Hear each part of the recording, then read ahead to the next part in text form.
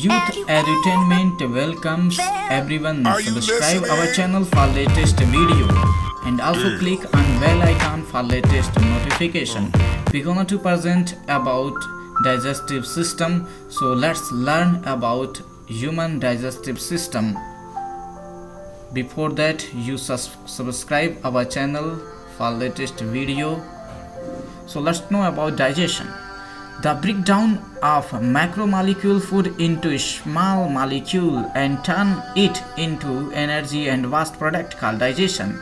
The food is mixture of nutrient substances taken in various forms such as carbohydrate, fat, vitamins, protein, minerals, water and rough phase. The digestion process take place in gastrointestinal tract or that is also called alimentary canal. The alimentary canal is made up of oral cavity, pharynx, esophagus, stomach, small intestine, and large intestine. It also includes accessories organs such as teeth, tongue, salivary gland, liver, gallbladder, and pancreas.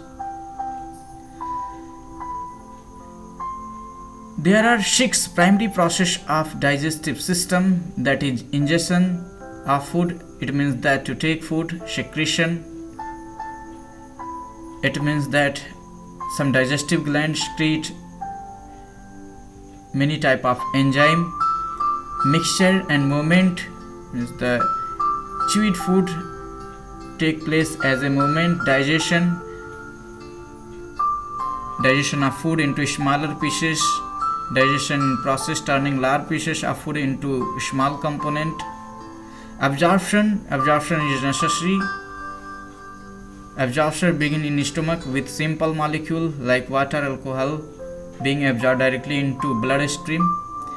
Excretion the excretion of waste in process known as defecation. Defecation remove indigestible substance from the body Next, let's come to know about oral cavity. Oral cavity is also called buccal cavity. It contains accessory organs such as tongue, teeth, salivary gland. The food is chewed by grinders. Tongue pushes the food towards the grinder and helps in mixing saliva. Saliva is secreted by three pair of salivary gland that is submaxillary, sublingual, and parotid glands. Saliva is slightly acidic.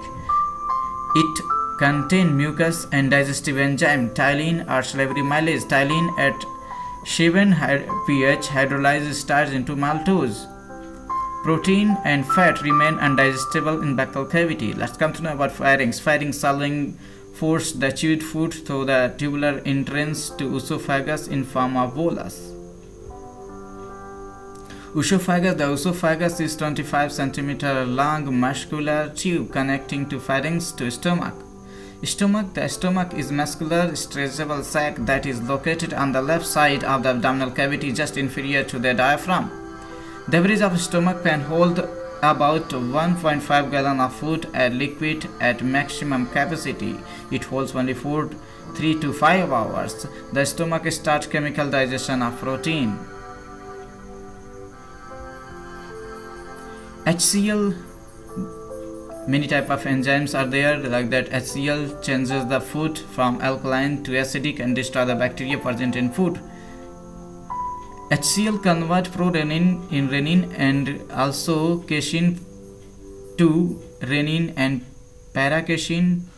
That convert into calcium paracaseinate and in presence of pepsin it converted into proteases peptones and polypeptides Small intestine. The small intestine is long, thin tube about 1 inch in diameter and about 20 feet long. That part of the lower gastrointestinal tract.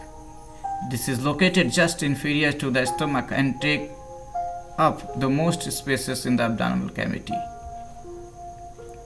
Large intestine. This is long, thick tube about 2.5 inch in diameter and about 5 feet long.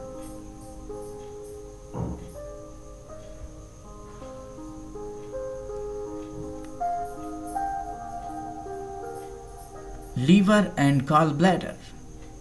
The liver is roughly triangular accessory organ of the digestive system located in the right of the stomach. And pancreas the pancreas is large gland located just inferior and posterior to the stomach. It is about 6 inches long and shaped like leaf